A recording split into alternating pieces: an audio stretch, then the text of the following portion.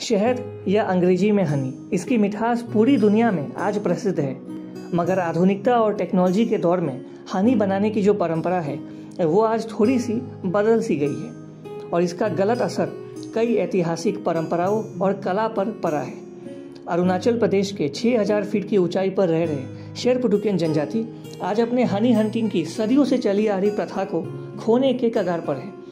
एक समय हुआ करता था जब शेरपुटुकेन जनजाति, जंगलों और पहाड़ों से हनी कलेक्ट किया करती थी। ये उनके समाज का एक अभिन्न हिस्सा था, मगर आज इस जनजाति में केवल छह हनी हंटर्स बचे हैं, और इनकी ये कला और सदियों से चली आ रही प्रथा विलुप्त होने वाली है।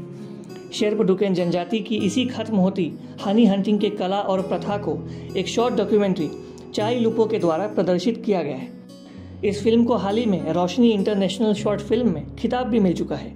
इस डॉक्यूमेंट्री को 2020 में दादा साहब फाल्के फ़िल्म फेस्टिवल के बेस्ट डॉक्यूमेंट्री का खिताब भी मिल चुका है।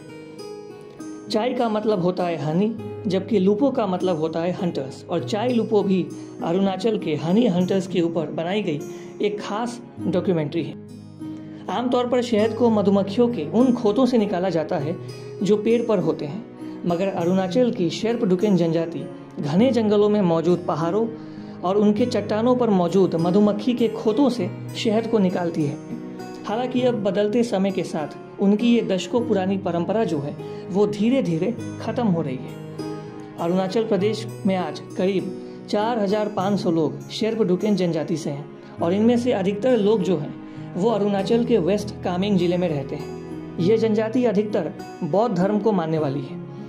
आज इनकी हनी हंटिंग की अनोखी कला और परंपरा समाप्त होने के बेहद नज़दीक है। आवश्यकता है कि सरकारें अरुणाचल के इस जनजाति की अनोखी और ऐतिहासिक हनी हंटिंग की कला और परंपरा को जीवित रखने के लिए कोई ठोस कदम उठाए, क्योंकि शेर्प डुकेन जनजाति की ये हनी हंटिंग की खास कला है और खास परंपरा है जो इस जनजाति को बनाती है अरुणाचल प्रदेश की एक बेहद खास जनजाति।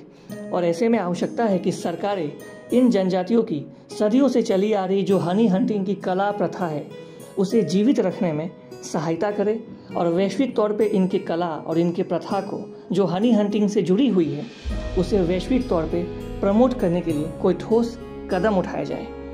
News desk report, east news.